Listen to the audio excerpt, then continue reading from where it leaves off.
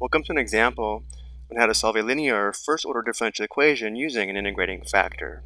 An integrating factor is a function that will multiply both sides of the equation by to help make solving the differential equation much easier. We're asked to find the general solution to the given differential equation. We're asked to enter the integrating factor mu of t here, and then the general solution y of t. So the first step is to make sure the given differential equation is in the correct form, which is the form shown here, dy dt plus p of t times y equals f of t. Comparing this form to the given differential equation, this is the term where we have a function of t times y, so it needs to be on the left side of the equation. So the first step is to add 2ty to both sides of the equation. So the given differential equation must be written in the form dy dt plus 2ty equals 4 times e raised to the power of negative t squared. It's important that we have it in this form before we identify p of t, which in this case, we have p of t equals 2t. Step 2 is to find the integrating factor, which is mu of t equals e raised to the power of the integral of p of t dt. So mu of t, the integrating factor, is equal to e raised to the power of the integral of Again, p of t equals 2t, so we have the integral of 2t dt. So the integral of 2t with respect to t would be 2 times t squared divided by 2, or just t squared. So we have e raised to the power of t squared. We don't include a constant of integration when finding mu of t. So looking at our question again, we now know that mu of t equals e raised to the power of t squared. Now step 3, the next step, is to multiply both sides of the differential equation in this form here by mu of t, which means to write this equation in this form here. So on the left side we'll have e raised to the power of t squared times dy dt plus 2t times mu of t, which is e raised to the power of t squared times y equals, on the right side we'd have e raised to the power of t squared times 4 e raised to the power of negative t squared. Let's go and simplify this right side. Notice how when we multiply e raised to the power of t squared and e raised to the power of negative t squared, we would add the exponents.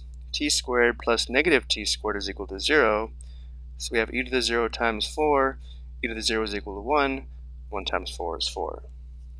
Now step 4, we need to recognize the left side of this equation here is the derivative of the product of mu of t, the integrating factor, and y.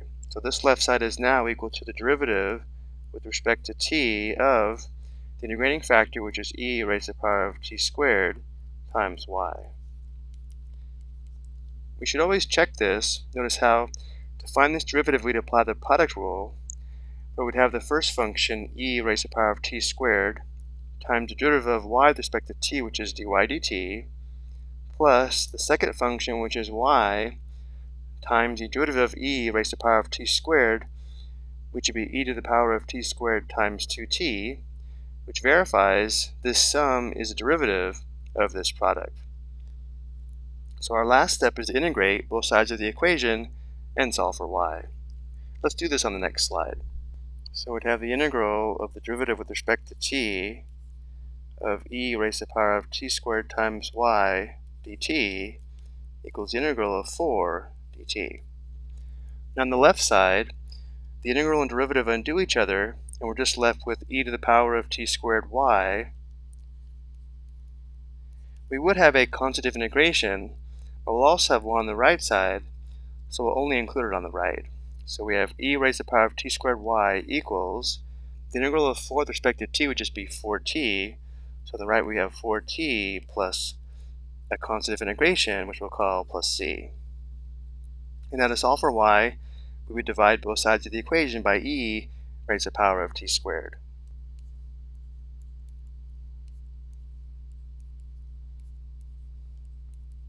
So simplifying on the left, we just have y or y of t equals on the right, let's go ahead and write this as 4t times e raised to the power of negative t squared. Remember, if we move this exponential term up to the numerator, it changes the sign of the exponent.